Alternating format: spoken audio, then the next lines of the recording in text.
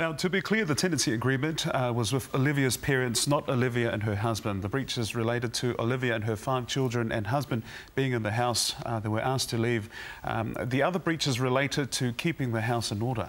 Right. Well, joining us today for our talanoa is Fa'anana Efeso Collins.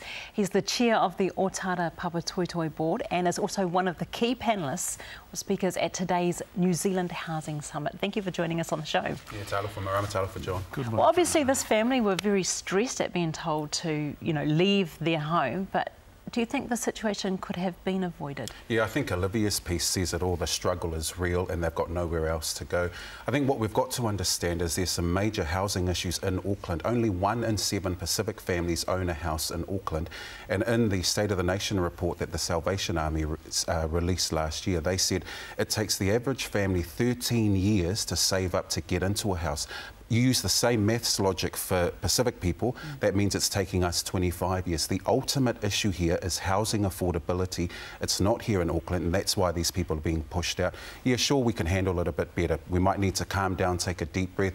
Housing New Zealand needs to be a bit more understanding. We can communicate better, but the ultimate underlying issue here is housing affordability in the biggest Pacific city in the world. And we're seeing a lot of families under these kind of pressures mm you know, people who are breaching their tenancy agreements mm. just because they're just trying to help out and get by. Are you, you seeing this more and more from people in your ward and your in the community? Yeah, well, we've seen it since I was a little boy. We had 15 people staying in our state house on Preston Road in Otara back mm -hmm. in the 1980s, and that was a three-bedroom home. And we're still seeing it today. And what that says quite clearly is our people are struggling. We don't have the level of income that's matching the rest of New Zealand. We don't have the support available to us. Look, one of the things that people can do as a practical approach is talk to your community advice, uh, your citizens advice bureaus, go to your community law centres, make sure that you've got the support around you so that you can in fact get the necessary advice that you need. But we are in a, a real struggle situation and this is a national disaster. We are in a crisis and it's only now we're hearing about the housing challenge because it's become a middle class issue.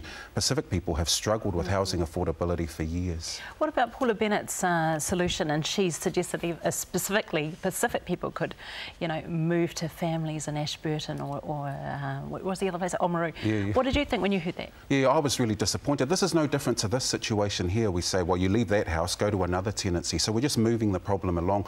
Although in this instance, the government's suggesting, well, you can't all afford to live in Otara and Mangere. Why don't you move deep south into Ashburton? That is not the answer. The, the, we've got to attack the issue of housing affordability. But just pushing people out of the city is not the way to go. And so we've got to come up with real solutions that are going to ensure we can afford a house.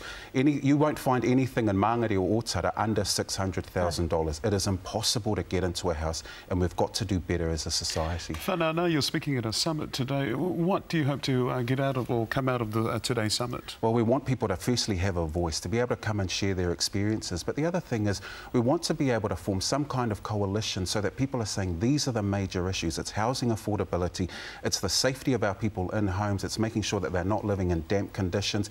Because if you look at the stats, the Ministry of Health say that one in three Pacific people is at um, risk of severe um, effect because of the fact that we're living in damp housing. We have high mm. incidence of rheumatic fever and asthma amongst our people because the housing isn't good enough. So what we're doing today is let's get everyone together and let's workshop some issues to move this forward. Fa'anana, thank you for joining us on the show. Appreciate your time on such an important issue. Thanks. Thank you very much, Fa'anana.